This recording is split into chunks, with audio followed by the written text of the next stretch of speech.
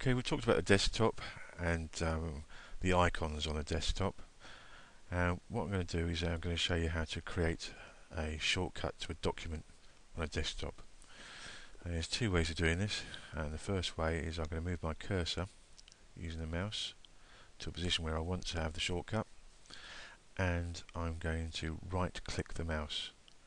And what happens is a menu comes up with a number of options. And I'm going to go to the new and there's a little black arrow at the end that shows there's another sub menu that's going to come up. And the sub menu gives me one of the options as being a shortcut and that's what we want to create. So I'm going to create shortcut. Click on there left click. And that will come in a, a window with what item would I like to create a shortcut for? Well I'm going to browse to a document that I've created earlier. So I'm going to look for this document and don't worry too much about this, we're going to show you how to navigate through into folders and files later on, but um, I'm going to go to the admin, which I, am my profile is an admin, you would probably have a name like Mike or Susan or whatever. And uh, click on admin, and then I'm going down to documents, my documents.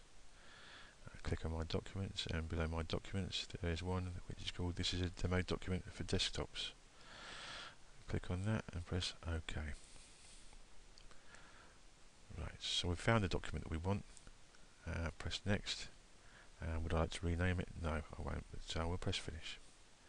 And there we are, on a desktop is the shortcut. And it is a shortcut. The actual document is still inside the computer, filed away. But I've got a shortcut to it, so I don't have to go all the way through that hunting for it. I can just find it now using the shortcut. And if I double click, double left click on the icon we've created, document we've been working is there. This is a demo document for desktops. Okay, I'm going to exit out of there. Now I'm going to get rid of this. I'm going to send this to the recycling bin. So I'm going to left click, hold left click down, and I'm going to move my cursor and I'm going to move that up over the top of the recycling bin and I'm going to drop it there by letting go of the left click. Okay. Now the other way of uh, leaving a shortcut is to go to the document itself.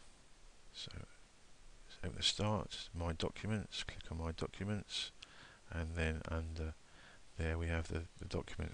So I click on there and now if I right click I've got a number of options, a little menu comes up and one of those options is to send it to. So another sub menu, send it to desktop, create a shortcut. And that's what I'm going to do exit out. There again on the desktop we've got our shortcut to our demo document and that's how to create an icon for your desktop.